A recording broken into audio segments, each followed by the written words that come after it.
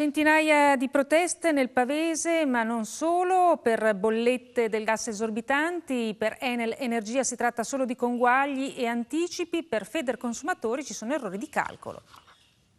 Signora, che bolletta le è arrivata al mese di agosto? Dunque mi è arrivata una bolletta esorbitante, circa 800 euro, considerato il periodo non aveva ragione di essere. Maxi bollette del gas in pieno agosto, casi come quello della signora Maria di Pinarolo Po nel Pavese, sono purtroppo tantissimi. Qualcuno parla di bollette pazze, ma in realtà si tratta di conguagli e anticipi sui consumi. Feder Consumatori, che ha ricevuto solo nel Pavese centinaia di proteste, parla di operazioni di cassa dell'Enel, cui si sono aggiunti gravissimi errori di calcolo. Noi abbiamo riscontrato delle somme algebriche completamente sbagliate.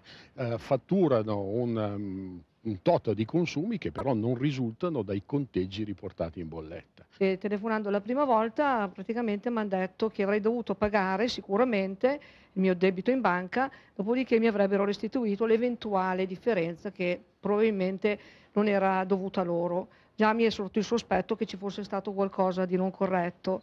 E nell'energia ammette gli errori, le differenze verranno restituite direttamente sul conto di domiciliazione. Sul meccanismo di calcolo di conguagli anticipi invece sostiene che il metodo è stato fissato dall'autority sull'energia, ma è proprio l'autority, replica Federconsumatori, a parlare di mancanza di trasparenza. Al di là di tutto, al di là degli errori materiali, è un problema di trasparenza nelle bollette. Questo è quello che ha chiesto l'autority, ha chiesto trasparenza nelle bollette e di rispondere alle sollecitazioni delle associazioni.